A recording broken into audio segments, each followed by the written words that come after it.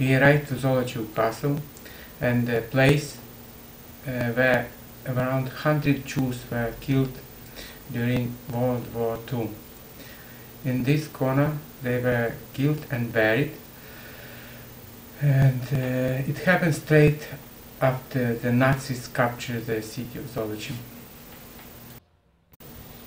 The first Zolochiv stone synagogue uh, has been built in early 19th century and then from the many of internet resources I found the synagogue was built on this spot.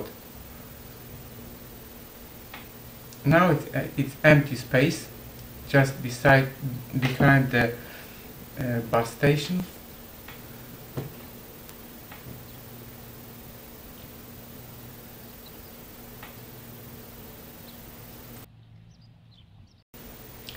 I found a few old houses not far uh, from the place where synagogue used to be.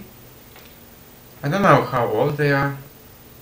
And the synagogue used to be just straight ahead on the we just left the place where the old synagogue used to be and we are driving to Jewish cemetery and I would like to just show you how far the cemetery was from the synagogue.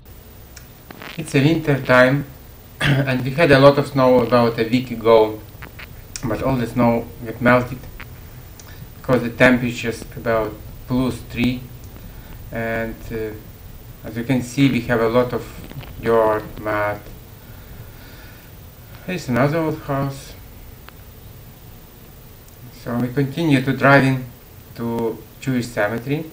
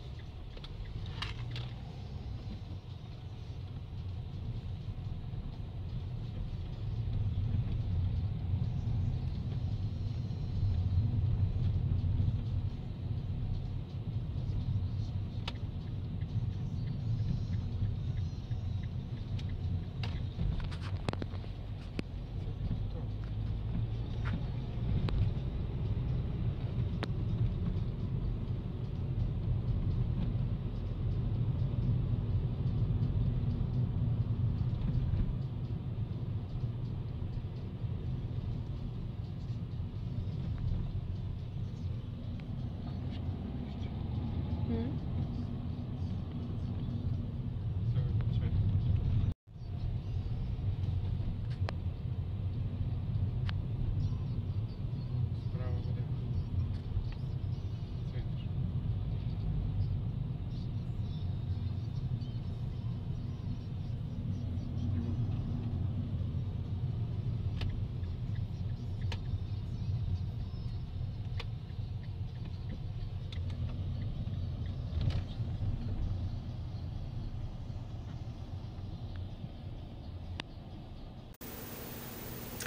Here we are, we arrived to Jewish cemetery in Zolochiv and it's a huge area as you can see and it's surrounded by metal fence all around.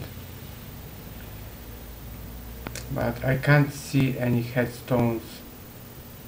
There's no stones at all only a big monument. Place looks good somebody taking a well care of, of it. See still some snow left and but I can't see any headstones.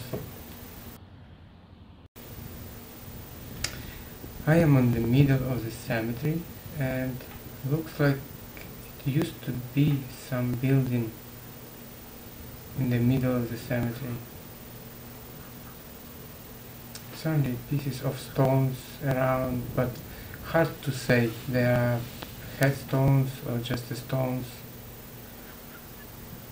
There you can see the monument.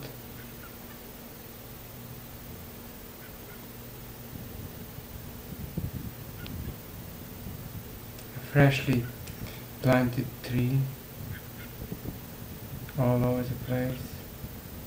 And here's some foundation left from the old building.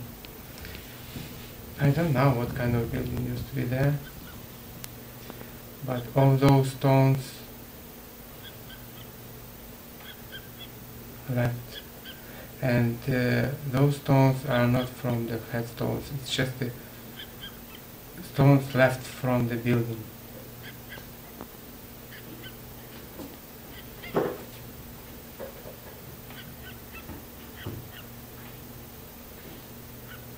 Mm, I can see a few stones, headstones.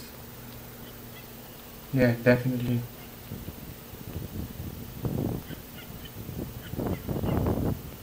Only one, maybe two.